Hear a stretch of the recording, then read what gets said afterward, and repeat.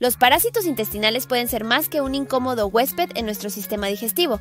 Causan desde infecciones hasta obstrucciones intestinales. Por ello, es vital desparasitarse al menos dos veces al año para prevenir complicaciones y mantener nuestra salud. Mantener una higiene adecuada es esencial para evitar su transmisión. Entre los parásitos más comunes se encuentra la giardia lamblia, que transmite la giardiasis provocando diarrea, calambres abdominales y cansancio extremo. Otro es el criptosporidio, causante de síntomas similares, y la entamoeba histolítica, que puede generar amebiasis y abscesos hepáticos, transmitidos por agua contaminada.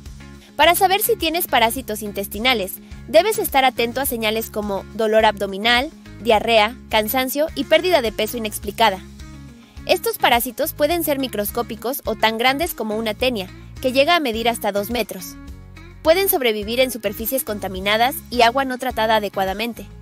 No hay un medicamento universal contra todos los parásitos intestinales, pero el albendazol y el mebendazol son comúnmente prescritos y efectivos contra la mayoría de los parásitos comunes.